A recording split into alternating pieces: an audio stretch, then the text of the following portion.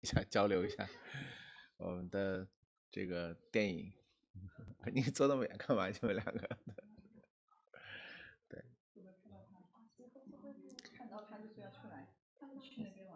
嗯，没事，没事，对。他跟大人在一起可以。对。对，不能是他单独的一个未成年人不能进直播，不能上直播。对。哈哈哈哈哈。未成年人不能进直播。对，不能。咱们国家还有很多那个保护未成年人，对对，他怕让未成年人去演出。对，好了，我们首先看一下这个电影，它本身是讲了两个魔术师之间的一个恩怨情仇的故事，对，然后互相斗智斗勇，对，一个。对然后他们之间的这样的一种竞争关系，其实也促进了他们自己的各自的这样的一个拓展。他们俩本来是一个非常要好的朋友，年轻的时候，对。然后后来因为因为把那个不用了，不用不用不用不用，你看怪怪的。我是拿着这边有这个麦克风，对对对。哦，可别，他们大家他还有一个麦是吧？待会儿他们发言可以用那个。把这样还是这样会好一点，那那样声音。放在中间一起说。对。大家离得比较近，说话声音大一点就都可以。嗯。把这个拿下。因为他后来他俩为什么那个？就是因为那个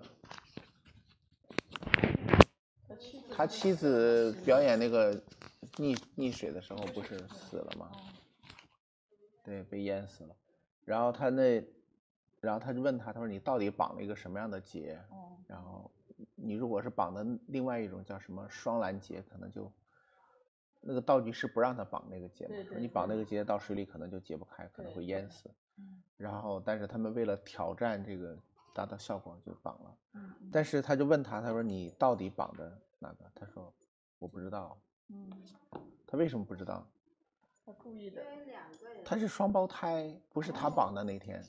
哦哦哦。他们俩，他们俩兄弟是双胞胎，他们共享一个一个魔术师身份，一个是道具师的身份。他们俩是一个道具师嘛，一个叫 Fallen，对，那个 Fallen 是道具师，那个。Borden 是那个魔术师然后，他俩，他那天是那个人绑的，就是他不知道到底绑的是什么，然后这个人就非常的生气，因为他们俩他认为是好兄弟，那你怎么能把他自己的妻子害死？他就一直想报仇，其实。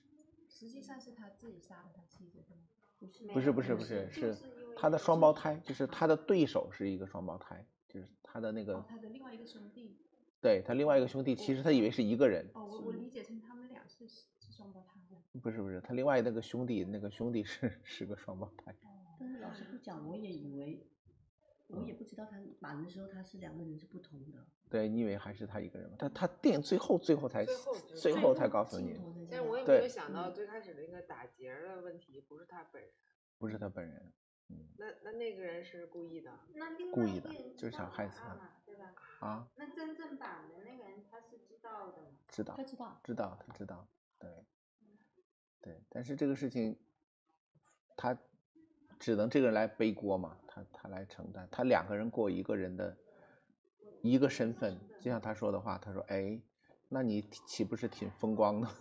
他说：“你以为风光，其实还有承担了很多的东西，包括。”那个人的手指被那个被枪给打掉了。那个人故意坑他嘛，让 他把那里头，他本来里面是空枪，空手抓子弹是假的嘛，他手里早就弄个子弹，那枪里头没有子弹。然后那个人故意的往里头放了一个子弹，就把他的两个手指打断了。打断之后，他另外那个双胞胎也得把手指弄断，才能演的逼真。对，然后因为他们为什么受这个启发，是因为他们在。年轻的时候看学了那个中国魔术师的那个表演，那个叫成莲什么那个，他是这这是，它里面这个故事，他为什么这么去演？它整个电影本身，它是也展现了一个魔术本身的一个特点。他这个老头最开始说魔术分三部分嘛，嗯嗯。对，先是弄了一个那个暗度陈仓啊，就那个 plage，对，那那个过程呢，他整个电影里头也是这样，他要展现一些真人给你，让你觉得这个东西，这个电影本身是真的。比如说，那里面的那个中国的那个表演魔术师嗯。是真实存在的，嗯。当年在英国就是嗯。对，在一九零几年的时候是有这么一个人的，当时。对，而且当时是两个人，那个中国真人魔术师姓金，叫金什么忘了，金什么什么一个魔术师是中国的，徒手变鱼缸嘛。那后来在当时有一个欧洲人去模仿他，那个欧洲人把自己头发也剃了，然后也梳上辫子，然后也穿上长袍马褂，说他是他是中国人，然后他有一个东方的魔术，其实他是就是看穿了中国魔术师的魔术。那个人姓程啊，就是他后来说他跟学那个姓程的学的，然后呢，结果姓程的在英国也表演，然后那个英国的呃这不是中国的魔术师姓金的也在英国表演，然后他们俩还打过官司，结果中国那个魔术师不知道为什么没有去没有去法院开庭，没有去应诉，结果就那个姓程的其实他是假冒的，他是个老外，但是呢，因为他去应诉了嘛，他就赢了。对，所以说在这个电影里头，他穿插了把特斯拉也穿插进来了，他把那个姓程的那个魔术师也穿插进来了，他让你 感觉这个电影像是一个传记片，像一个纪实片。嗯其实这个电影他拿个特斯拉不可能去给他 做一个这个东西，而且那个东西也没做出来过，对，但是他把它弄得好像是真的一样，让你觉得，因为它里面加了这个真真假假、虚虚实实的这样的一个历史人物穿插进来，对，所以这都是他的道具，其实都是为了让你感觉他这个电影，那他整个的电影其实就是他这三个阶段的一个再一次的这个重复，还是再一次的强调，就是三个阶段，就是一个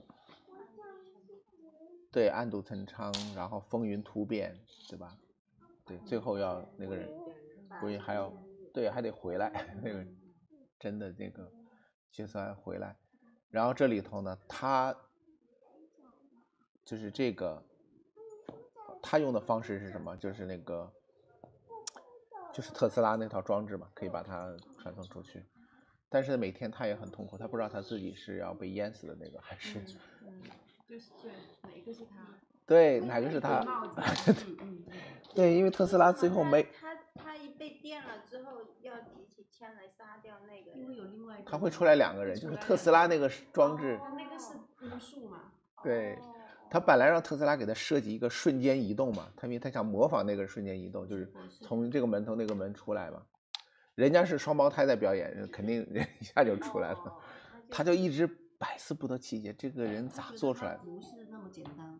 对他觉得这太太 low 了，这这这这这不是关键，他认识那个人，他看到从那个门里出来那个人不是一个替身，因为他跟那个人太熟了，他俩是兄弟，从小一块玩大的，他能看到从门里出来的不是一个替身，而且那个人的那个表情那种炫耀，就是告诉他，你看你看不出来吧，那种他是能 get 到的，就别人 get 不到。他们俩斗了一辈子，他是能 get 到那个点的，那个就是那个人，不是演员。这是让他实在是想破脑袋也想不通，他是怎么做到从这个门进来，瞬间又从那个门出来的。然后他就找特斯拉设计一个仪器，让他能够通过特斯拉的装置让他瞬间移动。结果那装置没做出来，他以为没做好不奏效嘛。结果那个东西没有让他瞬移，但是能瞬间让他复制一个，分身。在另外一个地方让他另外一个分身出来，出来了一堆帽子嘛，还出来了两只猫。哦。一开始实验以为失败了嘛，帽子也没消失，然后猫也没消失，其实都跑到就跑到外面外面在在大雨堆里出来了，哦。出来了一堆帽子，两只猫哦，就好像复制最后一次看的。时候就看看懂了，对最后才所以，所以他说的那个痛苦是不知道他一下就分成两个对他的分身是到底是死于枪还是死于那个水淹死的？对，是的。反正反正知道哪一个。刚开始的时候，他他每一次都有出来两个，他要打死用枪打死一个嘛。那后来他就设计了一个装置，就是弄了一个水嘛，每次都要淹死一个人。对，哦每次都淹死，所以每天晚上要让那个看到他每一赶次上了都是复他知道他一定会去来偷这个东西的，哦，他早算好了，因为他知道他也破解不了。然后根据那个人的性格，他一定会来偷学。他去哪里偷学？只能去后台，去魔术师的后台看看他怎么弄的嘛。他算好，他一定会来。他一他只要来，他一定会被弄上谋杀他的罪名，因为那个人是真死了。对所以最后一幕那里有一堆的水箱，对，一百个水箱，他要搞一百场演出嘛，一场不多，一场不少，他要死一百回。哎，这个人是什么身 份？他为什么那么有钱？他好像有用不完的钱。他风光过很长时间啊，他他那个就是他表演的时候很多年了，他小女孩头那么大，嗯，就是他的那个，他们俩在当时就是就跟现在的什么大卫科波菲尔什么那个什么世界顶级魔术师那个级别，就世界级的那种魔术师。对，虽然他俩表演不了那个空手变鱼缸，那那他表演别的还是挺厉害的。变鱼缸那个，那是那个老中国人。对啊，练了多久啊？他为了演变鱼缸，他要平常走路都要假装成一个瘸子，他故意罗圈腿，对，他才可以做到。而且那个力量要非常大，他要把那个东西用腿把它抖到对，桌子上去，他这么抖抖，腿抖的。对呀他那个人是抓了一块布，然后提上来的。对他想是要 那种方式嘛，但是但是你的两只手不还在这里，还在外面抖，吗？好难哦。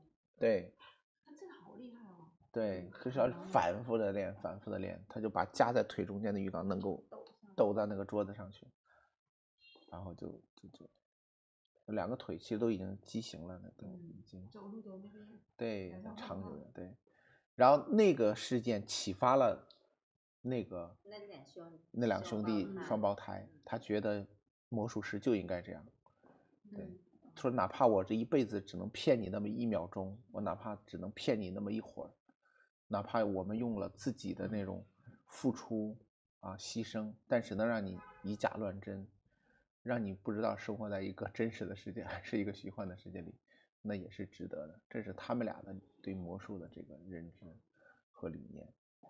对，而另外一个人，他其实也是何尝不是这样子？他居然弄出自己两个分身来，每天干掉一个自己，然后才能持续下去。对，那个被淹死的确实很痛苦啊，没那个法官去问他嘛，说被吊被吊死的感觉，被淹死的感觉。那那个双胞胎其中有一个最后还死掉死了，死了，对啊，对啊，被就吊死了嘛他。最后不是说那个我我的人生全都给你了，嗯，嗯，是，就是这样子。其实他们俩是，一个是双胞胎嘛，是天生的双胞胎；一个是通过特斯拉的装置每天生出一个双胞胎。但是他必须当时就杀掉那个，对，要不就穿帮了，就说会很痛苦嘛，对痛不欲生。痛不欲生。然后那个双胞胎呢，他不用每天杀死一个，但是他每天他只能有一个人出来出，现另一个人就就就不能出现。然后他的那个妻子死了，这个自杀的也是真实的吗？他妻子是杀是真真实的，真的真的是真实的。然后他就问他，他说你到底爱我？他说不是你爱不爱我吗？他说今天不爱，嗯因为今天不是那个人。不是那个真正爱他的那个人。对，他说今天不爱，他那意思就是明天那个爱你的人就出来了。今天是我，我不 但是对啊，他另外一个又跟那个的女朋友在一起了嘛。对。另外那个喜欢那个对方的那个助手，他也没说谎，嗯，他没说谎啊，一直没说谎啊，他对那个情人也没说谎，也没说谎。但是身份的这个本身就是个谎，所以女人就受不了了。嗯一直觉得在被蒙骗中。他肯定能感觉到嘛。一个女人，两个对她就崩溃了嘛，她就她她一会儿忽冷忽热的，今天是爱他的，明天是不爱他的，然后后天又还是爱他的，就这么轮换，这个女的就崩溃了，精分了是吧？对呀、她最后就自杀了呀，她受 实在受不了了。那个日记是他们互相看了彼此的日记，然后那个日记是故意写的一对些撒谎吗？对他前面那个日记是假的，就故意骗他，让他去，他其实是把他骗到美国，根本跟特斯拉没关系，让他滚远一点嘛，让他滚远一点，对，因为他在英国演出嘛。对，说你不是想知道我的这个魔术的秘密吗？那我就假装让那个对对骗他的，对。对，骗了一个假假的日记，假的秘秘密，然后告诉他特斯拉才是正经，让他跑去美国找特斯拉。结果特斯拉好死不死，他还给他整出一个 这么一个东西来，让他，这就是他的这个让人家看的比较混乱的这个这个点，对。但是他其实在电影里面的很多的深意，就是说到底人生哪个身份才是你，哪个别人别人认为的你和你自己认为的自己，到底以哪个为主？就是被因为在那个那个水缸里死掉的那个是他之前请来的那个替哦，身我也以为以为是那个替，身呢因为我以为是那个替为就这，俩他花了重金把这个，哪想到对对对，他是就死了一回，以为就死了一回是吧？让他每天都死，我以为他是把那个他的嗯那个替身替身淹死了啊对对对，淹死的，他只就为了陷害那个人啊，就想报复嘛，他觉得做了那么多功课，其实就不就是因为觉得嗯女朋友又被害了，那个前妻又被杀，嗯就觉得这一系列都是主导都是来自他嘛，所有的愤怒肯定都在投射，觉得他所拥有的都是他毁的嘛。就做这样的剧情就还是有点肤浅，很容易猜得到嘛，对，结果他 更狠了，出来。哎，那他初期的那个替身是什么下落？替身后来我也不知道他后来不重要不重要了，因为他想就是对啊，对，其实他已经猜到那个那个人家的谜底了，就是找一个替身嘛。然后他就写，他就觉得太简单了他觉得不是，因为他看到那个人从那个门出来是是那个还是那个人，他觉得这个不对，对他不让双胞胎，主要是认得他那个手指，所以他就他也认手指，也认认识，因为他他他看的那天可能正好是那个人出来了，就那个。知道吧？就正好进门的是那个人，出来的正好是他的那个对手，那个啊，就真正的那个真正那个人，所以说他就懵了。对老师，那他那个，那我还没搞明白，就是当时给他绑的那，就是那个淹死的那个那个那个那个那个女孩儿，他给他打的那个结，他到底是故意的还是是双胞胎其中的另外一个是故意的？，所以就问了第二个的人，他就不知道。他不知道，他不知道到底绑的什么，因为是另外一个人绑的，是他的双胞胎兄弟绑的。那双胞胎兄弟当时的绑他的那个结，他应该就知道他打不开那个结，还是换了那个不能绑的那个，对他换了一个不太好解开的结，就就是解开的难度很高对就是为了挑战，挑对战，对对对，为了挑战。就是为了想表演的更有吸引力嘛。当时他们对，其实那个道具师就建议他们不要用这个，不要用这个，但他们非要用。其实他们俩在对魔术这件事情上都是挺挺狂热的，挺下本儿的，就是就是他的那种视为他毕生的要追求的东西，不惜一切的要去把最好的魔术呈现给世界，这是他们俩的这个执执着的这个点，而且他们俩对，就他们俩互相斗的这种过程，其实也激发了他们的很多潜能，知 对道吗？啊对啊对啊，一个有一个，对，否则还没有这么多鬼点子啊，这些想法一个一个冒出来。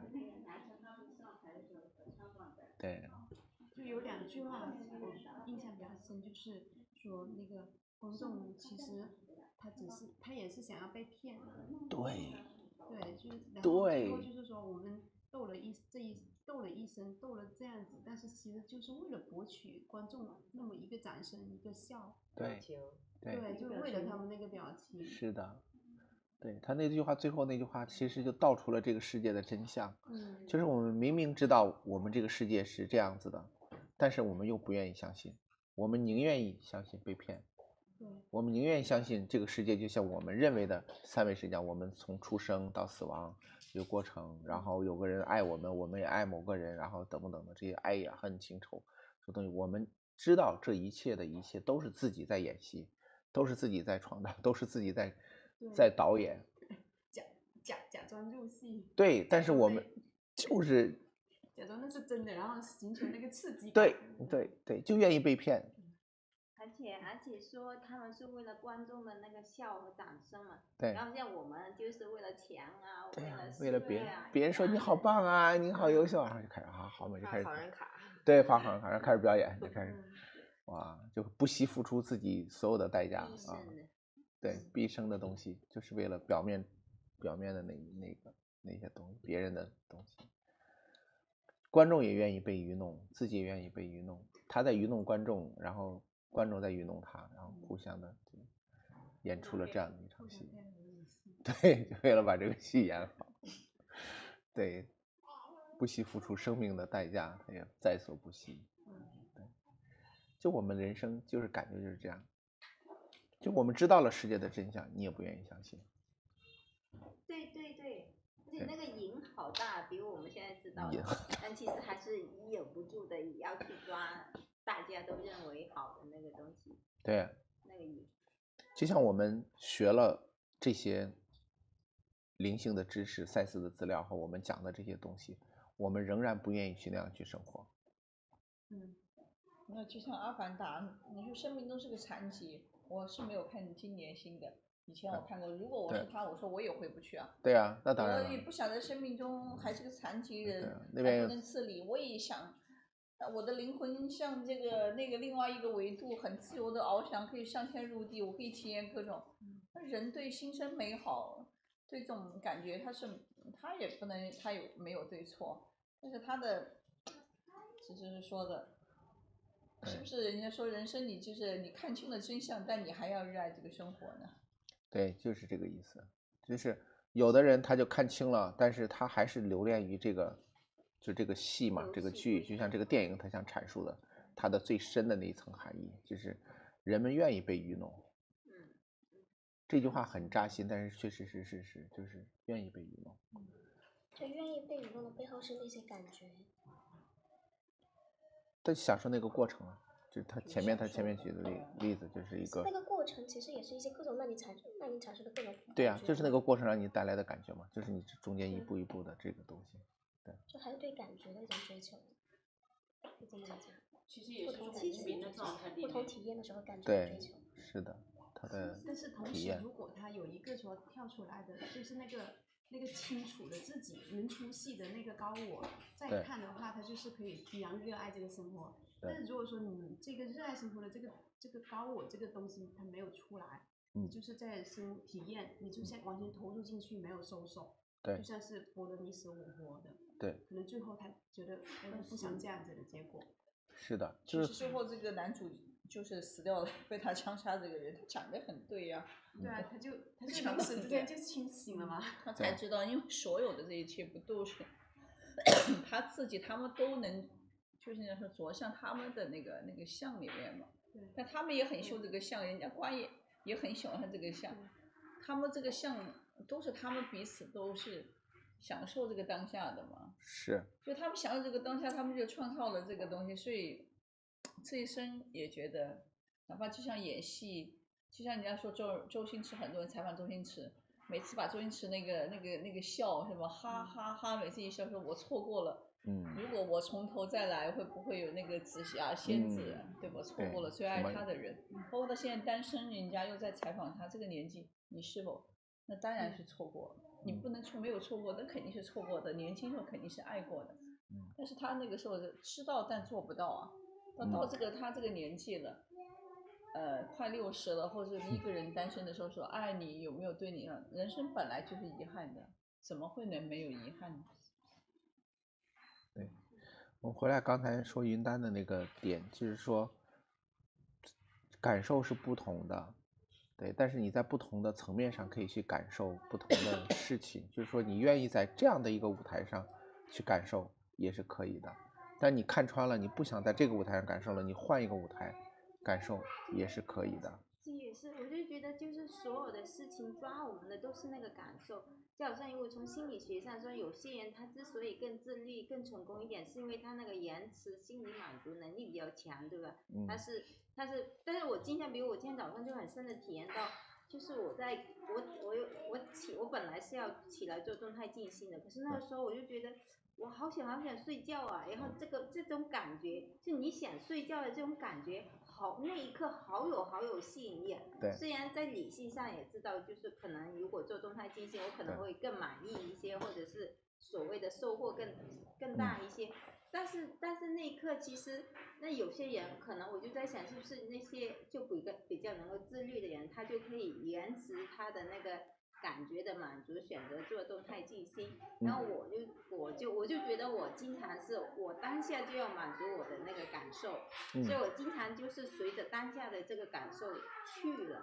嗯然后就没有做到很多我计划，大部分我的计划都完不成，就是我当下这个感受出来，我就当下去做了这个东西。嗯然后其实其实现在说这个这个代表我跟当下吗？也不是，就好我我现在看到的好像是，就两种都没是没有好坏。比如我体验多了这种随时都满足我的感受之后，但是其实我又没有办法完成我计划完成的那个事情的话，嗯我有时候我就能切换到就是当下的这个感受先不满足，去去做忍受一下这个所谓的不太好的感受，然嗯后去做一些我真正想做的事情，是是不是？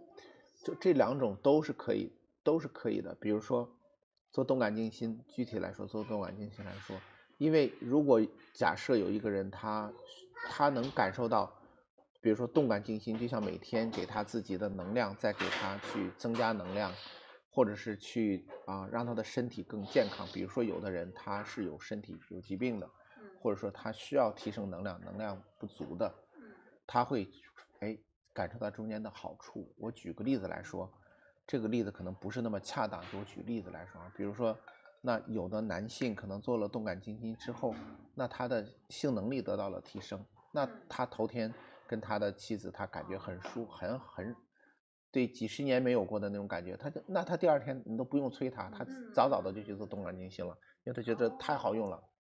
对，这就是可能就是我现在其实对动感性静心的那个需求没有那么大。对，这是他的一个需求，或者有的人是单纯的是从能量角度来说，因为它相当于可以每天提升你的能量，你能感觉到它每天的那种能量上的那种变化，这是一种，就是它是有一定的目的性和追求的。那这是它有一个更高的东西在上面去吊着它，它就会有劲儿起来。这是第一种。那第二种来说呢，他真的是在动感动感静心中，他找到了乐趣，他喜欢这个动感静心，享受。他在做动感静心做到后来，他到他为什么愿意做动感静心？因为他在平常生活中他体会不到他自己变成能量态的那种感觉，他就是一个普通的这样的一个东西，他可能偶尔会感觉。但是在你做动感静心做到一定程度之后，大概一个月左右的时间，你如果天天坚持做，你在做的那个时候，你会感觉到自己就变成能量本身，它就跟能量就身体或者整个自己也都慢慢的不存在了，你就会变成那个能量了。尤其是在第三个阶段，你以前做的时候很累很辛苦，等你变成能量的时候，就发现好轻盈，好轻松，越做越有力量。你那个那个感觉哇，就像天地之间的能量的那种状态，那种状态，对他爽在哪里，你知道吗？就是，就我跟你说的再具体啊，为什么他会做到那个状态？他会每天去做去爽。那我们不论男性和女性，在性高潮的时候，你就相当于你的能量在宇宙中去跳出来了，相当于你从你的身体里头有一股能量，当然是我们不论是物质还是这种能量态，从宇宙中再相当于你想它再跳一下，你让你真正爽的，其实就只是跳了那么一下。如果你在做动感静心的时候，你在第三个阶段，如果你坚持做的时候，你相当于每一次都在跳，你就是整个在活在那个能量态底下，那个时候的爽是无法用语言来形容的，就是你一直在这个能量里头，在宇宙中，你可以想象在宇宙中你是不停的像那个脉搏一样，砰砰砰的那种状态，你跟那个能量是一体的。那你到了那种状态下，那你就愿意去做了嘛？你就发自内心的想去做了，而不是说啊，我去做好累啊，好辛苦。每天都想要做，对他每天就会想要做。对他每天就想，嗯，我又可以跟能量在一起，我就感受一种状态。对，所以说，就你回到你刚才的问题，就是正好放在一起讲，就是他是真正的喜欢，或者是有一个更大的目标，这两个都可以。如果你说第三个我就不想做，我今天就是享受，我想赖在床上这种感觉，也是可以的，没问题的，因为你当下的感受也很重要。对，就你能理解我的意思吗？就是你在不同层面的感受，都是应该得到尊重和认可的，得到满足的。不能说我这个层面的是高一级的，可以碾压下面这些的，你下面这些躺在床上赖床是不对的。我因为你不是的，每一层的感受和体验都是得到尊重。相当于就是尊重你当下的感受。对，因为你在哪个层面阶段你的感受是是的，会变的，对对，你不能站在这里去想着那里说，哎，我怎么我怎么没有那种感觉？我喜我想要那种感觉，没有没有，那我就很痛苦，那不要。你现在觉得睡在睡觉睡睡懒觉很舒服，那你就享受睡懒觉。你等你有一天感受到了，哦，就哎你就想，但睡了之后 又自责。但其实我就真想说这一点，你说的这个就是那个头脑的头脑以为，那我天天这样子睡可不行好浪费啊，我就浪费生命了嗯。但其实是你真的在睡睡睡，有一天你就不想这么睡了。嗯，对，就是就是因为我去年有一段时间，每天早上起来，嗯做大拜，做完大拜呢，然后就冥想，冥想，然后就看书，嗯，坚持了一段时间，然后呢，后来就不止就哦，就就就这里 可能做的隔天了，就看到自己这个惰性，就慢慢的回的回来了。嗯然后那一段时间坚持的那段时间呢，就好像每天不做这件事情，就觉得少了什么事情，嗯就这就是不是就形慢慢就形成一种习惯了。对然后后来就哎做一天隔一天，做一天隔一天，隔一天，然后就越来越多越来越多，然后这个惰性就回到原点了，就没有了，就没有了，找不到那种感觉了。对。然后这两天我也是每天早上六点钟起来冥想，冥想到七点钟的时候，我也觉得好困啊，我也去睡觉了。对，但我睡完我也很后悔，我也很自责，然后我会觉得我的计划又回去了。我本来就是想冥完想我就想看书，结果又做不到，然后就好自责呀。这个时候，嗯然后老师刚才说的是因为那个那个那个点我还没有找到，就是那个兴趣点，对你对不对？没有找到那个，快乐的点没有找到。你没有找到那个，比如说动态进行，动态进行我也是很感兴趣的，但是我就发现，在三亚的做的那几天，我觉得我的体力远远跟不上。这个时候，刚开始啊都刚开始都是这样的，我就怎么样去提升我这个锻炼的，这个这个这个体力，就是因为你上不去的时候，就就就下来了呀。对啊，都是这样的。刚开始你那，你那个第三阶段你就做不了几会儿，你就累了，十下可能就累得要晕了。对呀、就是这样子啊。浑身就但是你可能你在坚持的那么在一一几下，你可能就突然发现，咦，整个人轻起来，跳上去了，而且不对用费力就自动跳了。对，一般到第四天，第四坚持做到第四天、第五天就不累了，然后就感觉就出来了。对你就是前面坚持不到那个时候，你就放弃了，时候是可以就顺着自己的感觉，有时候你就是要靠意志力再撑一会儿。你你不同的都要去体验一下，才能有不同的。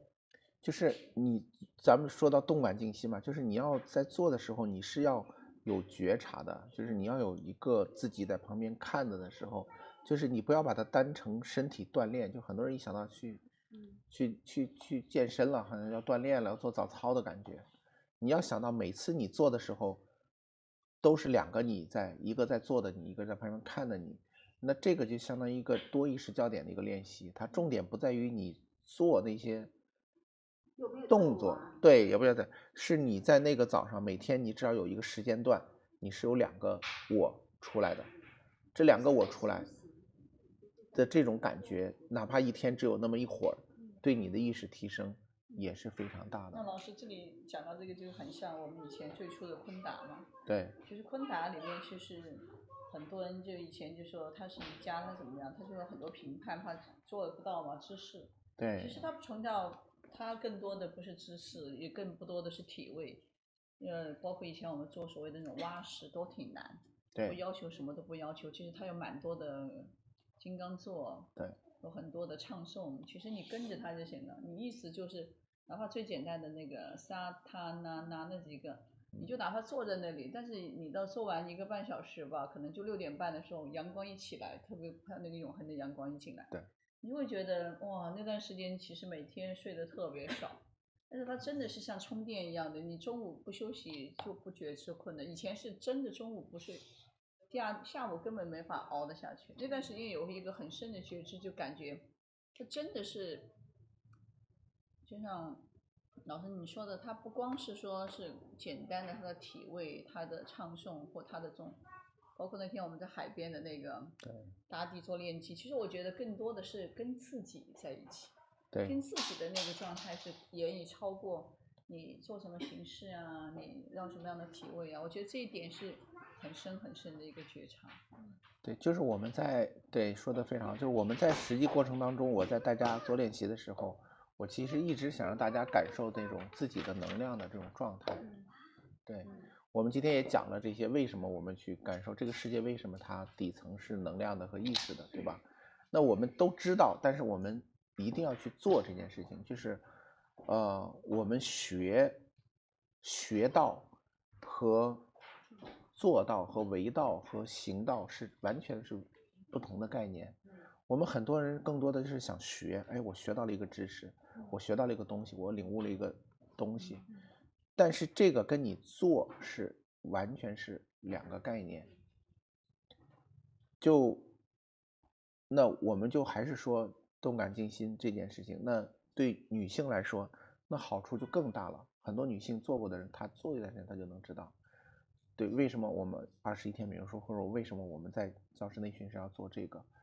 它最典型的，我举个例子来说，比如说我们他们在北京做的小伙伴的真实的反馈，就是哎，那一个已经绝经了很多年的女性，她就做动感静心，做了大概两三周开始，然后她下个月开始，哎，她突然又来月经了。如果对一个女性来说，你可以假设，如果说告诉你做动感静心，你可以永葆青春，你的生理期可以一直可以延续很久，那就单单这个，它就会对你有一个触动，你会想，哦，原来能量可以是由自己的重新再激活的，就是你的生命的这个能量可以重新激活，不是说这个肉体啊老了就老了，然后就退化了，机能就没有了。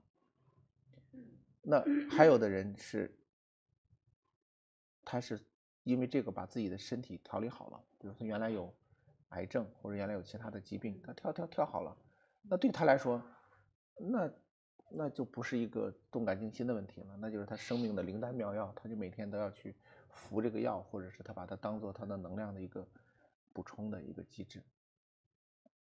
对，所以说我们回过来来说，你不论怎样的目的和怎样的标准或者偷懒都可以，但是就是你自己一定要体验到，哪怕是在躺在床上，你也要体验到自己跟能量在一起的这种感觉。就是我们的目的是想让你有一种每天至少有一段时间跟自己的这个本体的那个能量体多待一会儿，啊，有这样的一个链接。就为什么赛斯睡眠法它不让你睡太久，它让你一天分成两段睡也行，三段睡也行，但是你中间不要睡太久，就是不要跟你的意识体离太久，也不要跟你的灵那个能量体离开太久。你说那我是不是可以我一直跟我的能量态待在一起？就是我我不要我的这个肉体，我就纯能量态的方式，可不可以？如果你的认知和状态还没有达到那个时候，那你最好是比较均衡的，像现在这样的一种生活状态，就是都不要离得太远。对，如果你进入纯能量态的时候，你意味着啊，真的就意味着，就是为什么佛教说你一定要进入到那种啊什么六根清净啊，或者是说对这个红尘没有欲望了，你再进入这个佛门。因为当你真正进入那种纯能量态的时候，就意味着你对这个三维世界这个投影或者这个幻幻象或者这个照片的生活，你已经彻底看透，你已经不想在里头玩了。对，那你就到了那种状态，它自然而然的你就会脱离脱离它了。对，那脱离它的时候，假设你的这个情还没有断，你的那个你跟这个三维世界的链接都还有，你还有爱的人，你还有爱的事情，你还有这些东西都还在的时候，你非要强行的进入那种状态，你你是不行的。第一，你也他会随时把你拉回来；第二个，你进入那个纯能量态的时候，你的内在的这个情绪，就是那我说的情或者情绪还在的话，它会让那个东西放大到你受不了的地步。因为到了那个状态的时候，是全是所想即所得，然后就等于说放大了你的所有的情绪和所有的感受和体验的。那你在那种状态里头，你现在这些三维的事情还没搞定，你还为一件事情一下就生气啊，那你在那里头就会气死；你为一件事情你就恐惧啊，那里头你会被吓死；你为一件事情你就会乐死，对吧？你看见帅哥你就兴奋开心，哇，浑身喜悦，那那里头你想帅哥，帅哥就出现在你面前。你会被自己给，就是被欲望给折折腾死，对，所以说所有的点就在于，如果你还没有进入那种状态，你就不要去贪恋那种状态，你就贪恋在这个三维世界，把它好好的享受和体会，对，把它做好，对，等你到了那个状态，你到了那个地步了，我们在说那个地步的事情，而不是说我现在就去想去做那个，我只是告诉大家不要去那样去去感受和体验。老师，我有一段时间去内观隔音卡时，内观结束之后，我出来之后，就是每一刻都都很很当下，很快乐嘛。对。但是我就发现，我有好多词都没有，就是就是比如建筑物这个词，因为有朋友过来要问我怎么走，我就说这个现在正在施工，施工这个词我搜索了半天，我出不来，出不来。对。然后我在做饭的时候，如果你跟我讲话，我就做不了饭。对，是的。这。这是为为什么？就是你在脱离了三维世界，就是你对这个，就这个实相的东西，你已经慢慢的就脱离了。对。啊，对对对，哦。就是，嗯，我们对这个世界的理解，我们是从小从概念开始的，对吧？这是苹果，这是麦克风，这是，然后我们通过这样的方式来理解。那等你到了能量态的时候，它就没有这些概念了，概念首先脱落了。当概念脱落了之后，你基本上都是那种能量和能量的，就是你知道什么你都明白，但是你说不出来了。对对对对对。你你就，那个记记忆也不好。就算有很多感悟，但是你也不想写下来，也不想说。觉得你只想跟眼前的一切在一起，不想有任何脱离眼前是是的那个东西的。没有什么想要的。对，因为你你你的那种状态，在在那种能量态，它它脱离了那种概念和逻辑和想表达的那种点，因为你就是能量，你就是你就跟他在一起了，你没有什么要表达的，表达给谁听呢？你表达给谁说呢？你你你你的那种本身的本自具足的状态，就是当你进入能量态的时候，你就是本自具足的，你就是在那种本自具足状态。本自具足不是说物质上的本自具足。是你能量上的本自具足，是你的意识上的本自，你各方面的本自具足。你在那种本自具足的时候，你还会想，我要表达表达，我要我要去说。我好像也经历过那个状态，就是你没有哪里想去，也没有什么事情想做。对，你就很就完全就是就在自己的一个里面。对。就是就觉得来什么就接什么。嗯，是的。是的，所以说他就是自然而然的，他就到了那个状态，就就去体会不同的感受，然后。然后怀孕生完，爸爸我开始抑郁。对，他有不同的，就是我们说的是这个世界和更高一层的维度。那在更高的维度，它有那个维度的追求和那个维度的认知和体验，它又是不一样的。那我们现在站在这里说那里是这样的感觉，那你站在那里，它上面还有更高的一个东西。但是我们并不是说它不断的去不断的提升。你可以把它理解为你的意识的广度或者意识的维度的不断的拓展，只是这样。但是那个拓展，在你没有达到之前，你用你现有的意识是无法理解的，就不是说，不是说对你体验不到，是你理解都理解不到的程度。所以说你就没有必要白费心思在那个方面。就。就像一个还在用珠算去算数的人，连计算机都理解不了，那你去给他讲量子计算机，他他都不知道你在说什么，他他都就是想都想不出来，不在用用不上这个时代，对，跟他也没关系，对对他那东西在起作用，但是跟他没关系，对就是这样。嗯我们的人生基本上就是这样子的，嗯，就是不处在不同的意识层面，我们就体验不同意识层面带给我们的这个体会就行了。所以，比如在我们日常生活中，就是您花一部分时间回到能量态，有一部分时间在意对识态。是的，是的，我们就是来到这里，就是我们本来就是能量态，我们本质就是能量态，你不需要去回到这，只是说我们要在这个三维世界，用我们的能量态去跟，就是等于说我们是投影的那个源头，我们要跟我们自己投影的这个影子，我们要跟它玩一会儿。我们现在就处在这种状态，对，我们把自己也投进去，然后自己还在这边投，然后自己把自己也放进去，然后再跟自己投的其他的周围的人啊、朋友啊、环境啊再去互动、再去交流、去体验。我们现在就在这个阶段上，对，它就是这样。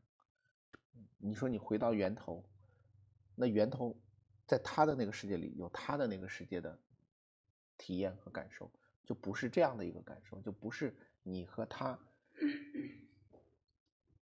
一个投影源和被投影源，一个被投影源又是投影源，他们之间的这样的一层关系，他就没有这一段了。你能理解我的意思吗？能理解没有？他不需要这一段了，他就在这一段里头去玩了。那这一段玩的时候，他其实又是另外一个更高维度的，在他这一段的，他是那一段的投影，哦对，但是他不知道，就像你在这里的时候，你没有活明白，你不知道你后面还有一个源头，还有一个投影的东西，但到他那地方，他没有，他不，他不往这边投射了，嗯，他投，他他他过了那个阶段了，他往这儿，那到这时候他就会看到他后面哦，还有还有，哦，原来我不是那个那个那个最终所以我们在哪就玩哪个地方的玩法。对，因为你其实同时你在各个地方都在玩，但是呢，你关注在哪里，你就在哪里玩；你在哪里玩，你就在哪里好好玩。嗯，不要站着这个山看那个山，我在这里我还想玩那里，那里要么是你玩过的，要么就是你可能下面要玩的。那你现在就玩这一局嘛，你就就玩这场。我身在这里，我现在整个意识主要在这里，那我就好好玩这一部分。对对对，他就给你安排到玩这一局，就好好的玩这一局就行了。不，你不要去说啊，那边是真，这边是假，然后那边是更高一级，然后这边没有没有高低贵贱。但是但是我们在这玩的时候，如果连接一些能量态，我们就可以玩的更尽兴一点。更自由、更洒脱。嗯，对对，我就说更我想要刺激破这么我嘛，我就是想要找到那种状态嘛，我觉得真的很自由、很洒脱、很有意思、很喜悦的状态。你要带着自我，不要去破掉，因为你最后还是要通过自我来感受这个东西。对啊就这，就是随时可以切换。对，就可以。你你你，我能理解你的意思，但是你没有必要说去破掉什么东西。对，你永远要去建设什么东西，然后去创造什么东西，因为你破不掉，就是你只要存在过的东西，它就永远存在。应该说是拓扩大。扩大，对，拓展，嗯拓展拓展，拓展，然后去升级换代，这种感觉。就简单理解，就是说你想要什么，你就多想你想要的那些。对，是的，然后在那里体验。对，因为晚上老师分享的，我觉得我听到就是理解不了，但是今天下午讲了，我还能稍微理了哦，让我哦没想美好的就好了。是的，你想晚上我就懵掉了。啊，没事没事，他他一步一步到到下午的阶段，就是你只要想你想过的生活，想要的东西就可以了，其他的你不用去管，因为我们就就是在这种纠缠态和这种频率态里头，你想要的东西，它就是跟你想要的东西，它是一套，可以这么理解。第二步坚定，对，够坚定。然后你想要的东西，它那一套就自动就来了。嗯，对，我们把它称之为平行世界也好，称之什么，就是同样的道理，跟那个喜悦有喜悦配套的一组人生。你想过那个，就切换到那儿去。想的痛苦就来痛苦，对，然后开心就来开心。对，然后你现在不想过这种不开心的生活或者这种东西，你就卡掉它，你就不要不要，它咵就转了。找一个你对标的人物，你想活成他那样子，所以老师让我们写名字。对，就看到那个你周围的那样的人，对，他就来给你打样的，他出现在你的生命里，就是给你做那个榜样。榜样，让你看到。对，你如果你不看，你又羡慕他，你又不想他人家活，就没有用。没用啊！他出现在生活里干嘛？只能让你生气觉。得我做不到。对，然后还会自我还自我评判，有他说我我不行的，他对太优秀了。踩一下。对，还打击自己了，变成他其实是为了激励你的，结果变成打击你的，对，是吧？其实不是嘛，老干这事。老干这是吧？人家明 明出来给你做个好的表率，人家像我活呀，像我这样活，你说我做不到啊，我还评判自己。我我想像你这样活，但是我不想像你这么一直工作一直工作。因为你还没到老师那个状态，你不知道你觉得对你有一个感受，对 就是用你的理解去理解老师，他觉得给我们他是在享受，他所有东西很多东西都体验过，他现在就体验享受体验他这个过程。那可能我现在对于我来说，我可能想要他那种状态，但是我不想要这种体验生活，可能我想要去体验生活的方式又不一样。对，是这个这就想到了上一次那个创造创造财富的那个富翁，很多人很多人都想要那个钱，是但是呢又不体验那点痛苦，又不能体验这个劳苦。对每个人身边就包括那天我们周四的我们那个对生命说 yes 的那本书就说灵魂伴侣，每个人都想找一个灵魂伴侣，找一个有钱的。但是呢，又不愿意去付出，啊，又不愿意吃苦，天天就觉得那不是好搞笑吗？你你什么都没有走出来，我觉得不是吃苦的这个事对我，们就纯粹是看你自己现在想不想做这个事儿。那我觉得还是他对他自己是匮乏的，因为他的匮乏，他是会来回的拉扯。就像那个富翁是他笃定的，你知道吗？是吧？笃定很重要啊，哪怕笃定结果不好，那他在做的这个过程中他是有力量的呀。你不笃定，你一会儿这一会儿那的，来来回回的，都把自己搞死了。他有真的几个核心的，就是我们要笃定的这个点，就是，就对那个富翁来说，他不论参加那个真人秀，结果是什么样子的，他笃定的一点就是说我做这件事情是有意义的，哦，有意义的。是可以是可以对自己是有激励的，然后也可以顺便帮助到别人的。他对这件事情有意义，这件事情他是没有丝毫怀疑的。能不能完成他不知道，嗯，能不能达成他也不知道，但是他不在乎这个，他在乎的事情，他坚定这件事情是有意义的，对不对？而我们在生活中的事情是一样的，我们要坚信我们做的这些事情都是有意义的。嗯，他的事情本身就意义就在于它的本身存在就在于它的意义。老师就讲到，像我们那天读书会里面就开始很多男的立那个新年计划，很多人都是把就是这年要赚的钱的那个金额立出来，但是明显的感觉到他因为他匮乏，他根本拿不到这个钱。先不要讲他做什么拿到这个钱，就他在言语当中，呃，在力量当中就不能体现出他。哪怕用我的直观感官就觉得他哪怕赚到这个钱了，今年赚到他要的那个数字了，我觉得他最终又掉到了匮乏里面。对因为他背后是因为他自己都不相信，不是他自己，他自己做一就打个比方吧，就说他的故事。他这段时间听到一个什么广告，听说是跟人家补这种这种什么车，户外的这种车子，补完了以后贴一个二维码随意扫，就是可能一个说龙华有一个人是这样做了，结果他就也尝试这样去做。做的时候，他就在我们群里分享。今天我还特意看了，他说，他就说唯一就收到现金五块钱，所以他的黑洞是很大很匮乏的。因为他做这个事情，他是觉得说，我做这个事情，就像我们说种幸福的种子一样，我们种的这个种子，就像我说，一起不在这个上马上要给到你，需要一点时间需要的东西。但是他自己在做的时候，他这个感觉就不美好了。我就说了说，当下就是最好的呈现。如果当下每一人都带着喜悦和这样去做，可能有。但如果他带着匮乏，还想像一个钩子去钩的话，我相信这个东西也不长久。就我我已经点到这个了，但是他他他是我接受你这个点的，因为他他别人家老师让你树立了啊，一年你的今年目标。财富金额达到多少，给自己写计划表，哗哗写出来，就哗哗念出来立表格。那立的这种表格，我觉得没有意义啊，因为哪怕你计较到今年赚了多少钱，但是自己内在他真的是很匮乏又很空洞。如果这样的话，真的是赚到他那个钱，像老师说的，可能时间也不长久。这是我的感受，因为我觉得还是还是他真的不是用这个数字或用什么东西来，是真的是要自己带这份带着这份喜意和这个当下的去做这个事情。比起他可能就像说的不在这个点上，不在那个不是立刻就有钱转他，也没有达到这个效果。但是带着感恩的去啊，哪怕转这几天才收到五块钱，我也很感恩这五块钱，我也不着想这个东西。所以我觉得这一点是我最大的一个感受，郭老师。我不知道我讲的对不对啊？嗯，对，我觉得每个人他的嗯，想达到那种内在的丰盛，它需要一个过程，它是一步一步的来的，对，但是他没有达到嘛，就是可以接纳他没达到。呃，我是那个做流程的时候。就是我总是会，不是说你要去充分的去体验你的那个不好的感受嘛。我总是在这个时候就怕了，跑就是怕了。我没有怕，但是我想要，就是但我老是会跑开，注意力跑开，没有办法进去。这个怎么搞？你你的内在还是不太愿意经历那些就是不好的情绪状态。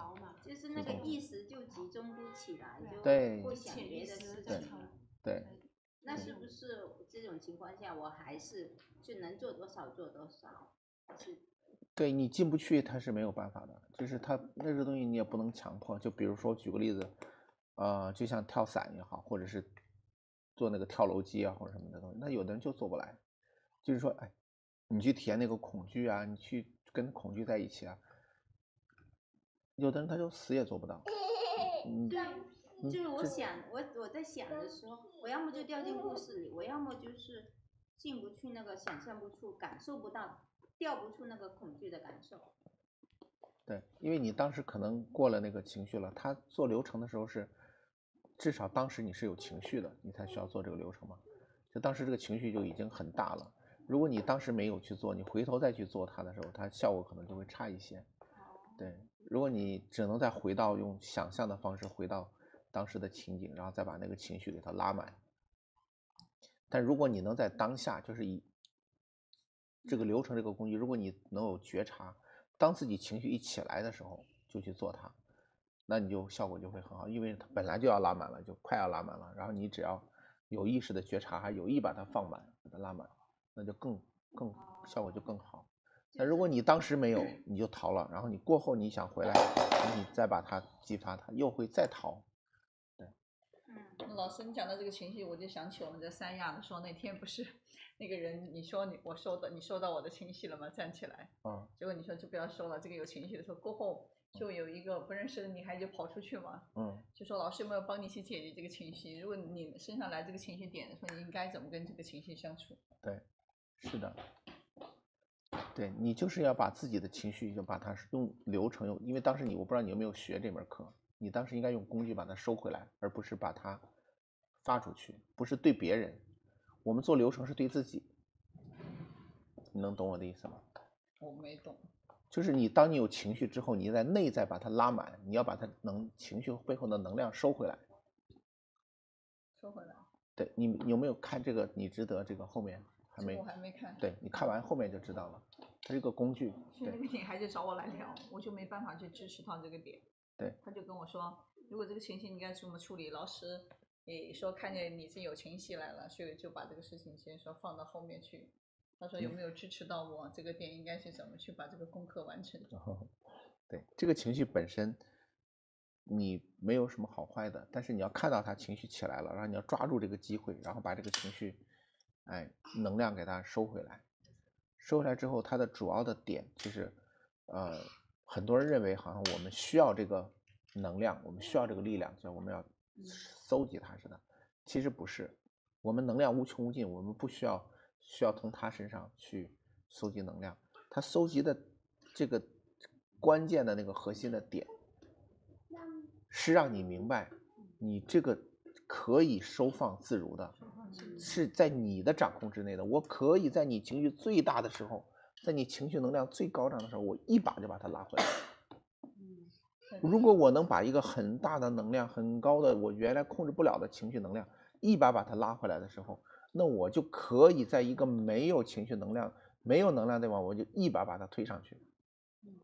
我这个收回来和放出去的能量的这个主动权在我手里，这个才是最关键的，并不是说我要把天然能量像存起来、存钱一样存在这里，等下次我再用。对，不是有的人就会变成说，哎呀，就比如一个人辱骂我或一个人东西，我本来有情绪的，我就逼回去。不要不要逼回去，你要把它在内在把它去释放出来，把它能量收掉它。哦，能量收掉它。那具体是个怎么个过程？就是呃，我们要想看到这背后的真相是，是我我想不出来这背后的真相是啥。不是不是真相，你在这个收能量的时候，你就单纯的收能量就行了。就是感受这一股负面情绪的能量，然后只是你觉得对你觉得是负面的，嗯，它能量无所谓正负的，对，是你给它放在那个负面的模板上，它就变成负面的了嘛，对吧？能量它背后那个激光它是没有正负的，那这所谓的收回能量是干嘛呢？是看到我这儿有一股特别强的能量，这是我的就可以了。是那个像是不想看到你发脾气，或者你情绪失控，或者你不想看到你现在的这种痛苦的感觉，是不想让它出来呀。你把能量收回来，那个事儿就不出来了呀。那就是说白了，就还是发泄出来呗。不是，不是发泄出来，是是不在心理上不再去责怪对方，也不评判自己，然后去感受那个时候心理的一种感受和身体的感受，是吗？哦，觉察。有他倒不是他倒不是觉察的看这个事情，你们都没有做过这个流程吗？我都 感觉当时教这个流程的时候，我就很疑问。感觉你们都没有。我还没开始做，我只做了才刚学的那个第一刚开始学第二啊就是那个，但是就第一步是赞赏跟那个感谢，感谢没问题，但是那个赞赏我就我就有点说，就是很难组织那个赞赏的那个语言。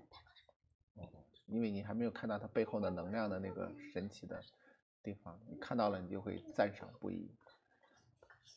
我我是还没有嗯、呃完整学那个流程，还没有用是呃，就是前段时间我我自己不知不觉就在用流程，就有学的同学他跟我说这就是流程呐、对，就是我的体验就是，就比如说我在办公室里面，我整个人就是能量我就觉得很抓狂了，我嗯。待不住在这个环境里，嗯。但是我怎么挣脱我都挣脱不出来，嗯。但我总不能去怪别人吧，嗯或者说去骂别人，或者是怎么怎么样，对吧？嗯。那我我我我就会那个时候我就有一个意识是出来的，嗯。然后我问我自己说，我这个时候我该怎么办？嗯。就就所有的东西都是我属于我自己，不不不是对外说事件啊嗯。或者任何的，嗯。回到自己身上，然后就想办法说，这个时候我在这里已经做不到了，那我还有没有其他办法？然后那时候我就想说，哎，我可以先逃离，就我先走开这个办公室啊，我去户外空旷的地方，嗯然后去去到户外空旷的时候，我就开始去连接这个呃大自然啊，然后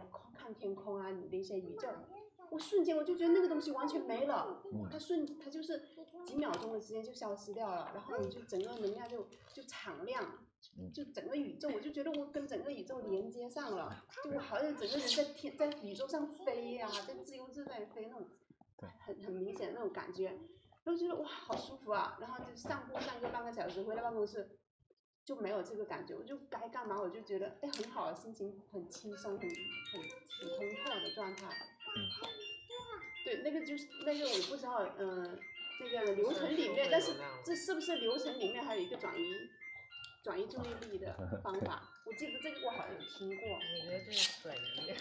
对，他的我们我们后面到第九章、第九章、第十章就会讲怎么来用流程、用用用工具来收回这些能量或者什么东西。那我们到那个时候，它会有具体的方法，我们先别急，一步一步来。前面的这个基本功要扎实，就是要就是破坏嘛。我们今天也在给大家破坏，你破坏破的彻底，你到后面的效果才会最好。如果你前头不破坏，你就不行。对，就像那天那个，呃，倪小红给你做个案的时候，他也一直在讲嘛，他在他在后面在跟我在交流，他是跟他说的这个点，其实跟很多人说的点是一样的，就是我们学了这些东西，我们不往自己身上套，我们觉得它是别的，它是知识，它是东西，你要把自己的人生的经历，把自己的人生的故事，把自己的人生的体验，你放进去。说的不是别人，说的就是你。这里面说的这些情况啊，说的这些事情啊，这些案例啊，这些内容啊，就是你自己。你把自己的故事放到这个里面去，你的感受体验才会更深。嗯。而我们平常就不愿意把自己放进去，所以说就是这样一个。就学习的一个一个一个小诀窍，就是你随时都要把自己放进去。对，你可以出来看一下，然后再把自己放进去，然后再看一下，再放进去。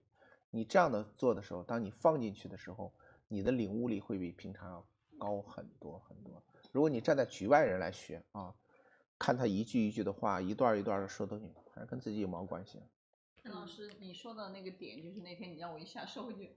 其实我那里，我我我一下子还是有情绪点啊，嗯，就是因为我不知道该怎么收的时候，我还是内在会有一点点，嗯，会有不舒服的那个感受的，对，那个不舒服。结果呢，嗯呃，就是说我的那个人，我们是熟悉的嘛，嗯，哎，我不知道，我没有说攻击或怎么样，但是那天我就会跟他，嗯，就会就会就会跟他讲，我就会说，嗯。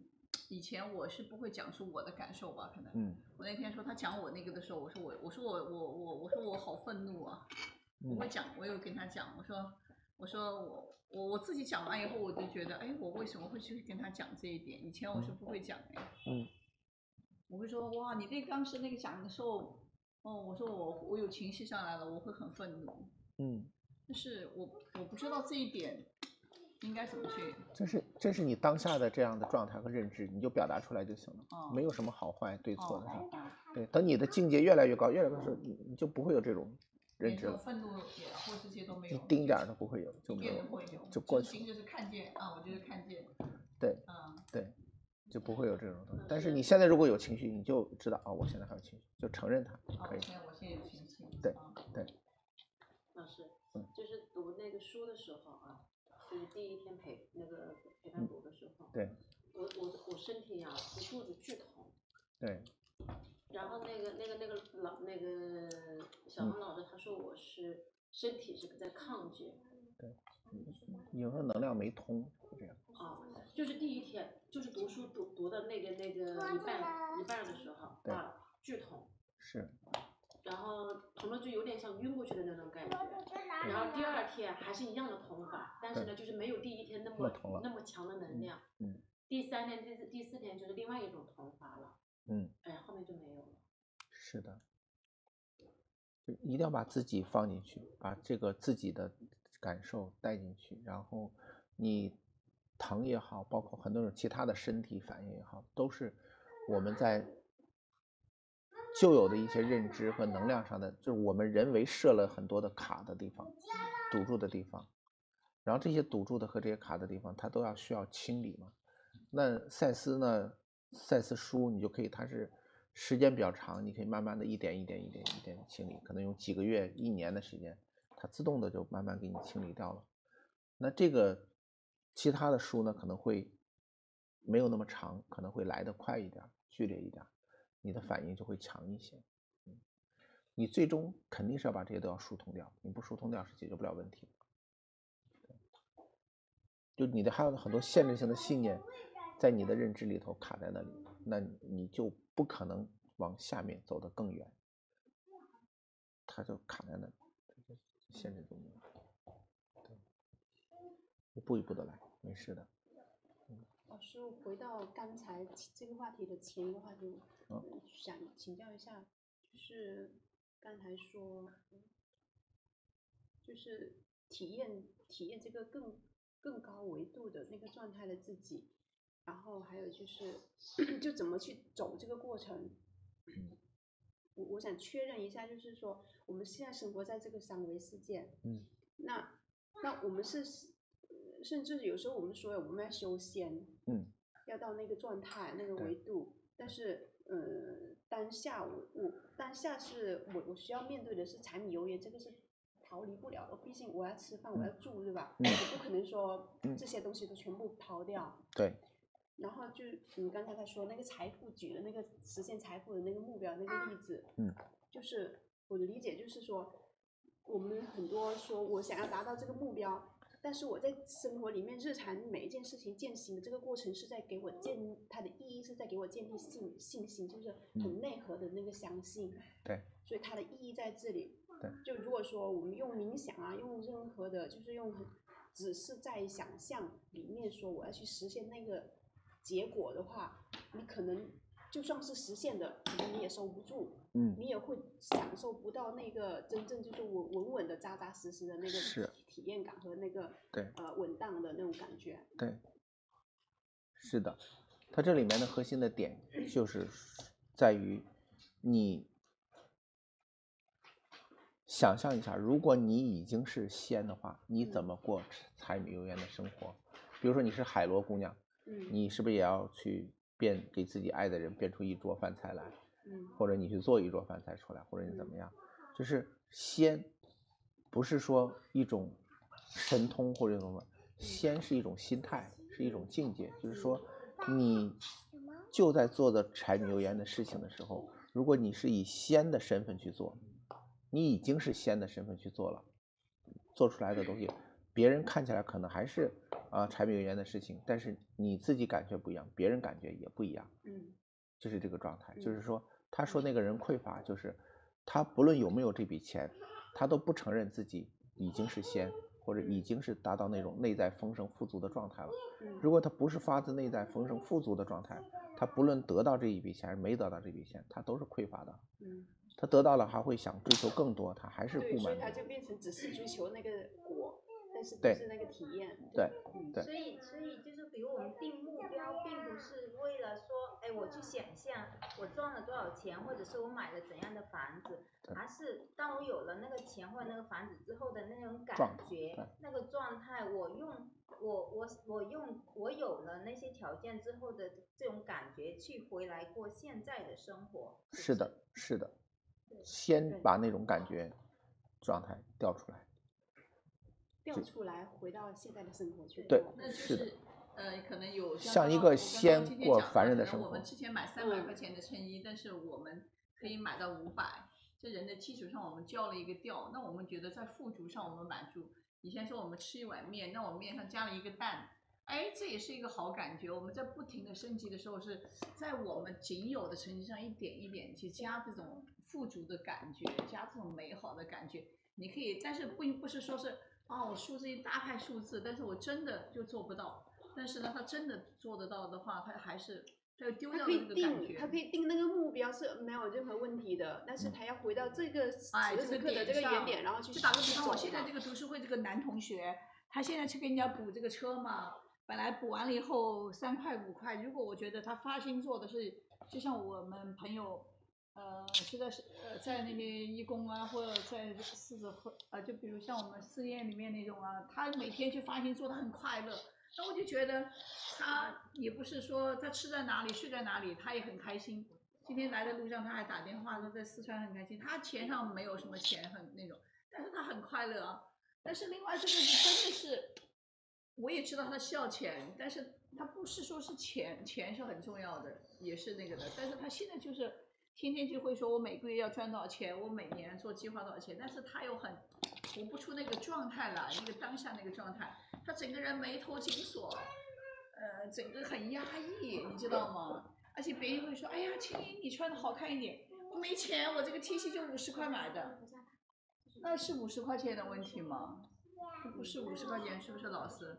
他不是五十块钱一件白 T 恤的问题，那有人穿的很精神，五十块钱白 T 恤配的又是很好看的呀，就觉得你唱的平平的，你整个状态或怎么样，你就是我们实现的那个呃七百块的那个衣服，它是来加持我这个能量的，就是就是我在一点一点建立和实现的这个过程，好感觉好感觉好感觉但是它其它还是在我是我建立起来的，它不是说嗯飞过来然后什么都没有建设的，它实现是我内在建设起来。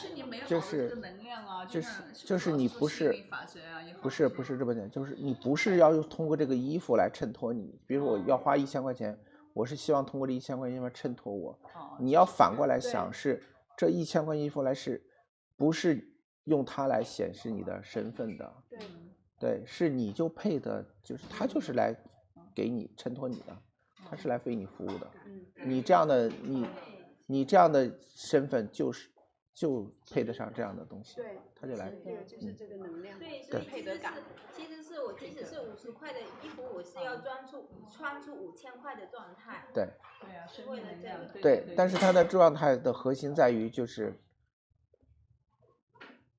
不在于说五千还是说一一千还是多少五百，是你的那个状态的感觉就是，就一个人有没有钱，不在于说他有多少东西，是他需要他缺什么东西，还需要什么东西。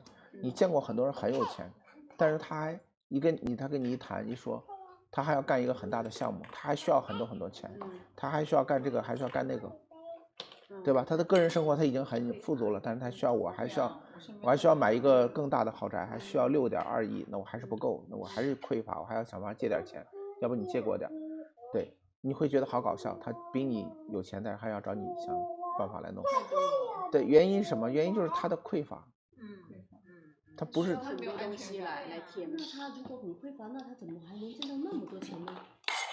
他，因为他匮乏呀，他就会体验这种东西啊，匮乏，我不够啊，我缺啊。那他怎么来到那么多钱的呢？他来到多少钱，他都是匮乏的。你不要光看到他的钱，心态。你认为他有了这个钱，他就是富足的。其实他不不快乐。不快乐的老师讲这个，就是我自己的表姐，也也非常有钱，但是他从来觉得他没钱。对他差不多你吃饭就需要你跟他去 AA 制，也觉得你请我一餐我请你一餐。对，他觉得是这样的。她她在他他觉得他所有的东西，他觉得他用钱的地方比你多了去了。对你不要跟我这样讲穷。对很多财富自由的人心不自由。对啊，他心上不自由。是的，那像我这种老是把钱花掉，然后又没钱的人怎么办？你你不缺啊，你就就挺开心。然后我妈整天就说，你也不你也不为孩子想一想，你也不存钱，你小孩以后怎么办？然后什么怎么他办？妈是你妈的信念，又不是你的人生。对但是有时候想想也是，万一我家里有谁生病了，我我是没有办法救他的哦。因为你家里人又不会生病啊，就是不需要你准备啊没有。什么好的信条啊，你干嘛？对啊你又没创造这样的信念啊。反正你觉得自己一个人好，就是人家今天是说，一个人幸福就对这个世界最大的贡献。是的，所以呢，自己也好了，全世界都好了，你该想着去帮别人。而且它本身就是个能量的状态，你需要钱，你只要真的心去创造，它就出来了。但是我发现我我花完的钱，等一下信用卡我是可以还上的，是的呀对，呀、但是要存多又没有哦。那你为什么要存多啊感？受够用那个美好就好啊，对啊。感觉嘛，就像我经常跟我的朋友说，一切皆自己所用啊，不为自己所有，所有的东西我都可以有，但又不是我自己的，我带来就来体验的嘛。对，给多了有啥用的？你要有别的事情，它就会多。就是你当你想干什么事情的时候，要要要要对，要有事情要有有有用用动力。不是动力，就是有事情，钱是拿来让你做事情的。如果你没有事情，要用钱，它不需要动的。对，就比如说你就想买一个豪宅，这也是一件事情，他也会配合你来。如果你都没有什么想做的事情，那个钱就不来。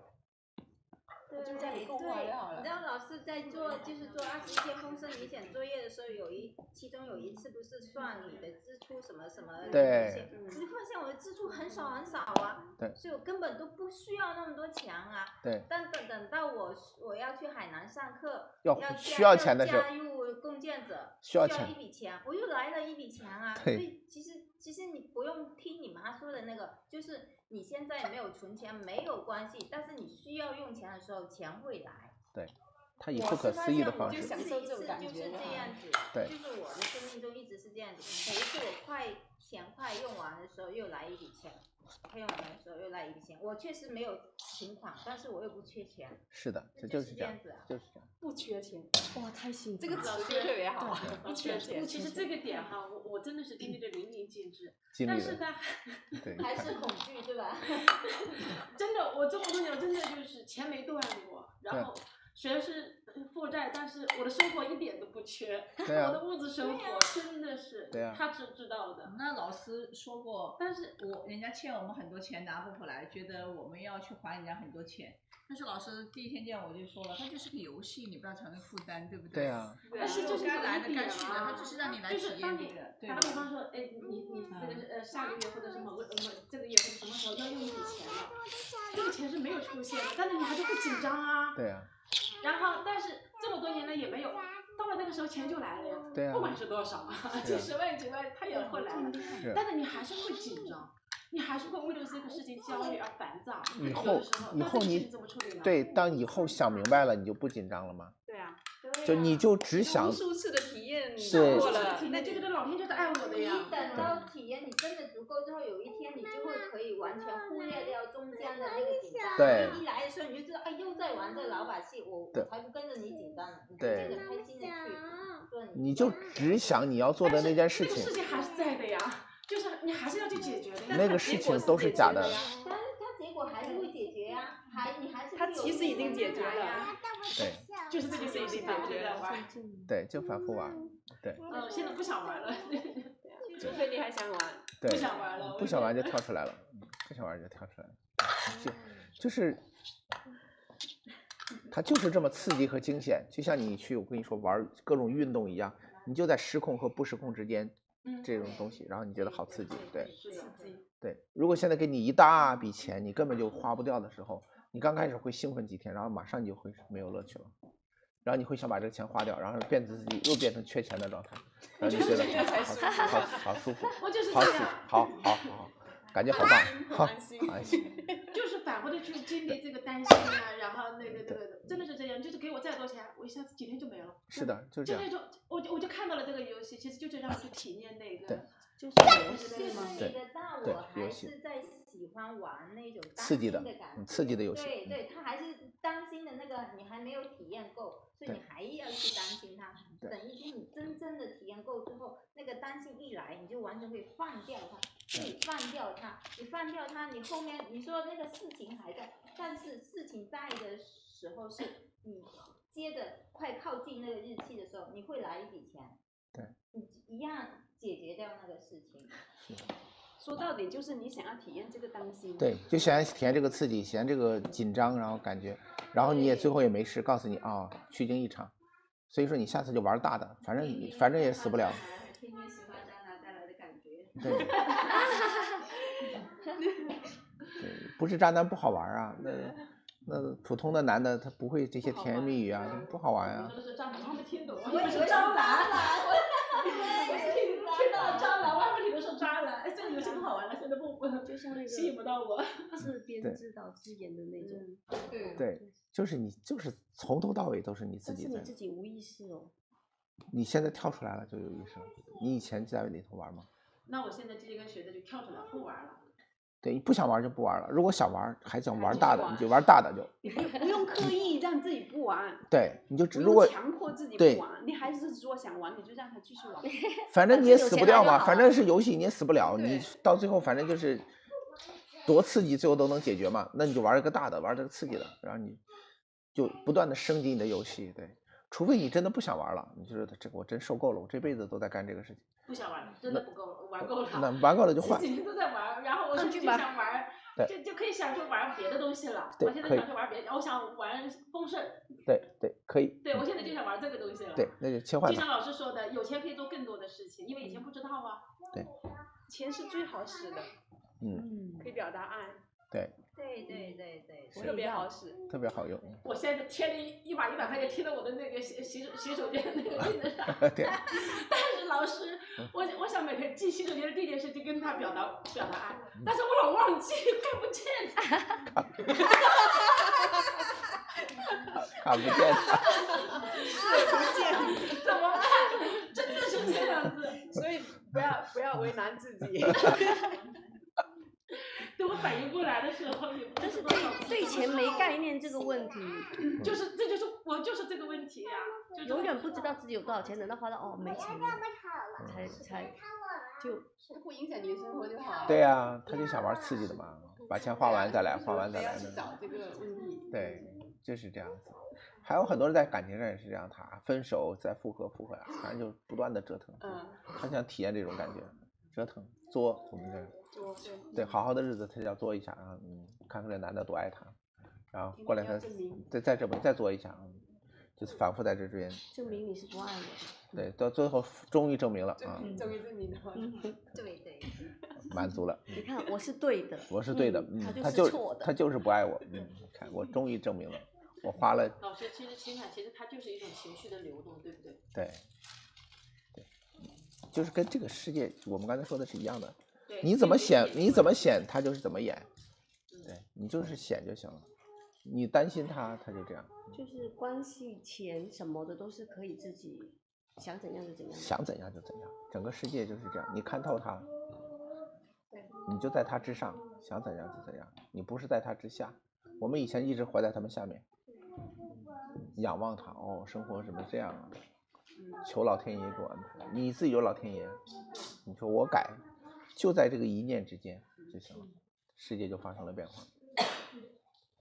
好好吧，嗯，好吧，我们今天啊已经十一点了，那我们今天就先到这里，对，好的，我们下次对，对，谢谢大家。这个电影也很有意思，可以再回去看一下。对，好多细节没有看到，它里面有很多很多细节在里面。对啊，看了半天，但是还有很多就没看过。就一个一个问号，然后到最后再串联一下，还是很多串不到。它首先电影是个倒叙的，它电影是倒着讲故事的，它是倒叙，然后又穿插了一个日两本日记，让让你更就就就就有时候你都不哪个是现在，哪个是他说他对对对对是讲戏集一样的。对，他是倒着讲故事的，他从最最最先一直往前讲，是这样的，然后就穿插，你就会有点乱。两个男主角他们最初是什么关系啊？一个是朋友啊一个是两个都是都是好朋友，就是都想学魔术都，是魔术师吗？两个这开始他俩谁也不是魔术师，学徒那是种。两个对就对魔术感兴趣的年轻人观，众看着看着很喜欢了。对，然后他俩就都去学魔术，然后其中有一个人，他们先他们先组了一个团儿，组了个团儿之间不后来他妻子死了嘛，就这团儿也就解散了，然后他俩就分别在各自组团儿，就这样。一开始他们俩是一个团儿里的，对他们俩再加上他老婆，再加上那个道具师那个老头儿，就他们因为有时候我会对外国人脸盲，都不看着 都一样对外国人脸盲。有些是，看着一样但这两个人还有点区别。还有点区别啊。那个金刚狼那个男主角，对，好有意思。金刚狼还想金刚狼吗？是啊，那是金刚狼啊，那对啊是难怪他这么帅。蜘蛛侠和金刚狼。那个帅的，对，太帅了！一进来，哇，这身高，这长相，哇，那眼那个，对，以前在欧洲见过的人，都蓝眼睛的女男对生，真的是太帅了。痴迷。身材也好。就是我发现我的状态，就怎么说，对对对，就是跟你在一起，或者是一个比较高能量的人在一起的时候，我就会很安静。嗯，对啊、你本来就很安静。夸大了。对，你是想你是表演在闹腾，嗯你的本质是安静。嗯，然后你怕暴露自己的本质，然后就故意跟你们闹一闹。对，我的本质是闹腾，然后表演安静。对，他的本质是闹腾的，其实是，对他我跟你讲，他以前不是这样子的。他以前不是。不，你以前你不认识我，你并不认识我。我有侦探，我这不对我不太见我他的他他同学他本质是闹腾。说我以前是个逗逼。哦，你自己不认可？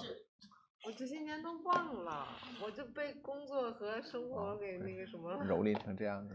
就我以前，他们就说我很幽默，然后随便蹦出来一句话，对都把大家逗笑了。出其不意的我都忘了，我记性好差的。对还有这个潜力啊。对，找回这种。对，要学会幽默感嘛，就我们那个《青春永驻》里面，其中专门提到很重要的一条的幽默感。会。我现在我就经常想起我小时候，就是大人嫌我多动症，对，因为我是跳着脚走路的，我不正经走路，我们就蹦跶蹦跶走。我们练不就练这个的吗？对呀，对呀，你都不用练，从小。我现在要走猫步，走猫步。听你这么一说，我就观察我自己，我确实我去到那种地方，我第一个状态就是安静的看。是的。你本身就都是安静的。对。看完之后自己有一些东西，是的，是的，他就是正好反过来。啥时候看出来我是闹腾的？热舞那天吗？灵魂哦。对，看来。这个要不要关了？暴露了是吧？怎么关？啥时候 暴露的？去海南暴露的。跳舞的时候暴露的吗？对呀。哎呀。关了吗，明涵？明涵，关了没？没有，亮着呢。